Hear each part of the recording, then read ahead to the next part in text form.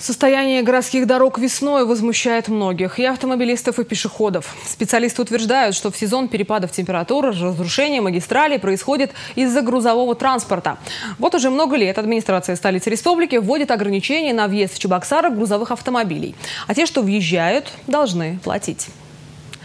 Недавно активисты Общероссийского народного фронта получили информацию от представителей Ассоциации автомобилистов о том, что пункты весового контроля в вечернее и ночное время не работают. Огруженные машины беспрепятственно проезжают в город. 8 апреля члены штаба ОНФ провели первый рейд, во время которого выявили множество нарушений. А минувшей ночью провели, проверяли, как их устранили.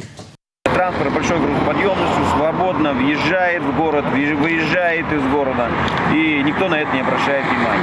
Мы обратились с письмом в администрацию города, а, прошло вот уже порядка 5-6 дней, но должных выводов не сделано. Прошу обратить особое внимание, что а, охранник или сторож, а, как угодно можно его назвать, находится в личном авто, на руках у него нет никаких документов, потому что он является охранником.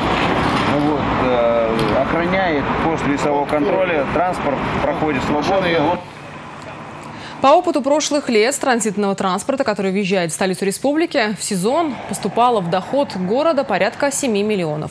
С учетом того, что вечером пункты весового контроля не работают, бюджет не получает серьезную сумму, которая может быть направлена и на ремонт разрушенных дорог.